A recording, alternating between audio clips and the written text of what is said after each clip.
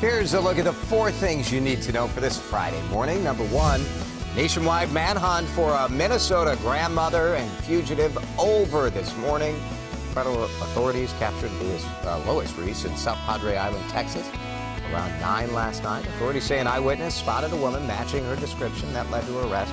Riess is suspected of killing two people, her husband here in Minnesota and then a woman in Florida who she killed allegedly to steal her identity. She now faces multiple charges, including murder and criminal use of personal identification. Number two, prosecutors have finished the investigation into Prince's death.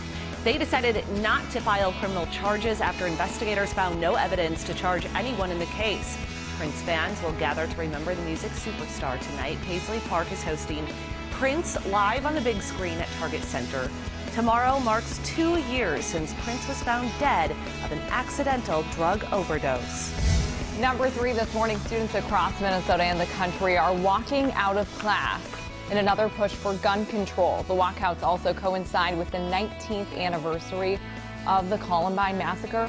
But students there will continue their tradition of marking the anniversary with a day of service. It comes two months after the school shooting in Parkland, Florida. And number four, it's official. Herberger stores in Minnesota are closing. Parent company Bon-Ton announced going out of business sales will begin today. Earlier this week, the company announced it would be liquidating and closing all of its stores. Herberger's has about a dozen stores in Minnesota.